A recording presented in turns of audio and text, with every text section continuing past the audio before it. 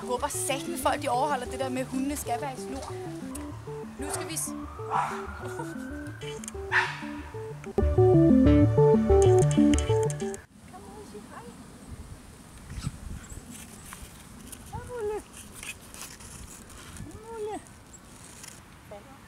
Nu sidder han og spiser et eller andet derinde.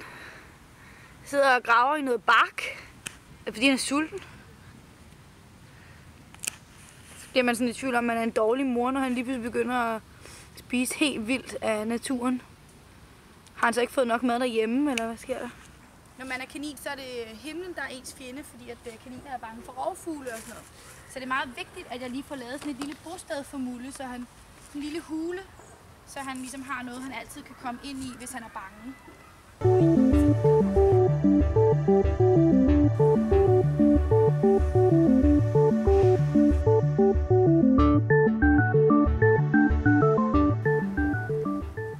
Indrømme, at jeg faktisk havde troet, måske han ville være lidt mere glad for at komme ud her. Det er jo ikke hver dag, det sker. Det her er kvalitetstid.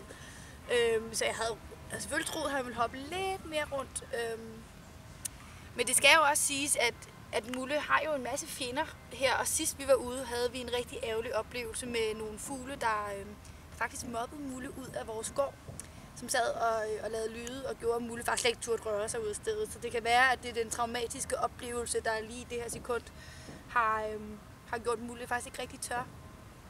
Det er jo ærgerligt. Altså jeg tænker måske, det kan være, fordi græsset er lidt vådt eller sådan noget. Så Mulle, så kan du bare gå på det her.